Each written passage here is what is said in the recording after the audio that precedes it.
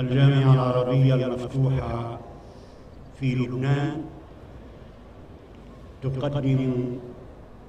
درعا تكريميا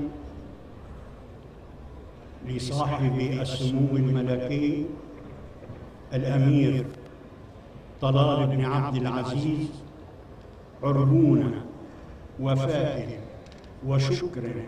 من كل العاملين فيها والمتعلمين والمتفرجين يتسلمه نجله سمو الأمير تركي فيحمله مع حبنا وتقديرنا للإثنين معا.